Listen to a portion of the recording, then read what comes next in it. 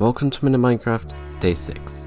As a recap, I plan to release a short each day recording the daily progression of this Minecraft world. For more information, check out Day 0, and with that out of the way, time for Day 6. Starting off the day, I decided I would really work on improving what would be my home for possibly the rest of this world. I smoothed out a stairway up to the higher levels and began digging out a spot that would soon be my bedroom. I turned my small pond into a full-on lagoon and cleaned up a few sharp edges around the ravine, adding cobblestone paths to nowhere, maybe they're minecart rails. Soon enough, it was time for day 7 and I was far from done. If you're not already, consider subscribing so you don't miss the next time I post a new video, and with that, I'll see you in the next one.